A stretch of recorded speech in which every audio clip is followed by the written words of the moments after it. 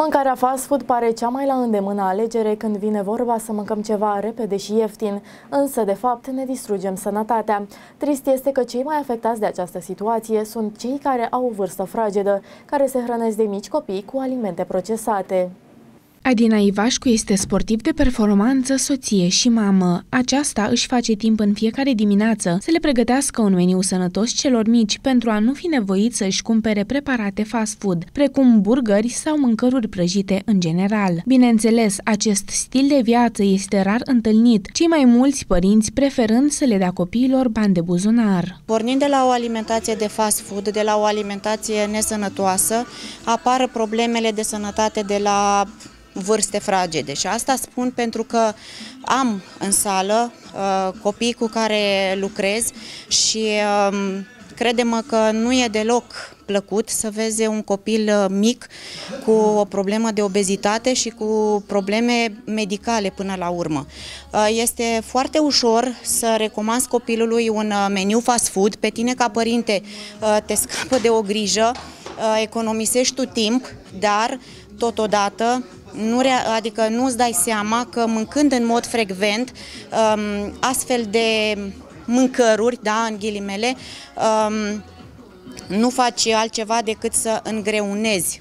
um, o stare de bine a copilului tău. Este dificil să le explici copiilor că unele alimente care sunt evident gustoase și plăcute sunt nesănătoase. Într-adevăr, sunt și o mamă și ca orice copil mai au pofte din când în când și nu le interzic lucrul acesta pentru că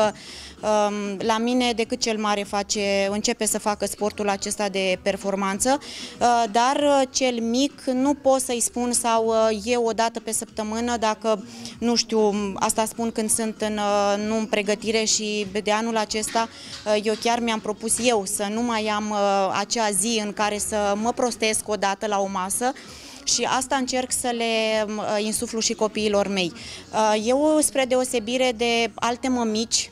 am norocul că știu cum să le pregătesc masa copiilor mei, în așa fel încât să nu aibă probleme cu greutatea sau probleme medicale din cauza uh, mâncărurilor care nu sunt tocmai, uh, tocmai uh, bune pentru copii. Acasă, copiilor trebuie să li se asigure o hrană variată, proaspătă, gătită în casă, să nu existe băuturi carbogazoase și zaharoase în frigider. Un copil obișnuit să mănânce sănătos rar va cădea ispitei de a consuma fast food. Mâncarea fast food, așa cum spuneam, este ușoară de, și de pregătit în casă și dacă o cumperi, este mult mai simplu să-i dai un ban copilului tău, să se ducă să-și comande ceva sau uh, să ducă să, nu știu, cu prietenii și să mănânce acolo um, o mâncare fast food, decât să stai tu, să încerci să improvizezi tu acasă acel hamburger, da,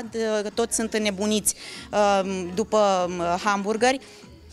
să-l improvizezi tu acasă, să fie ceva făcut în casă, uh, ceva sănătos, astfel încât copilul tău să um, beneficieze de uh, tot ce este mai bun din, acel, din acea mâncărică făcută acasă de tine ca mamă. Unele studii au arătat că mâncarea fast food poate reduce nivelul de energie și capacitatea de concentrare pentru perioade lungi de timp. Dacă copilul desfășoară o activitate fizică, aceste meniuri nu îi furnizează cantitatea de energie energie necesară pentru a face față solicitărilor din punct de vedere fizic. Uh, este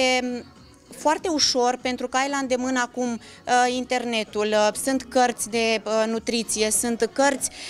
nu știu, rețete care te învață să faci o mâncare sănătoasă sau, um,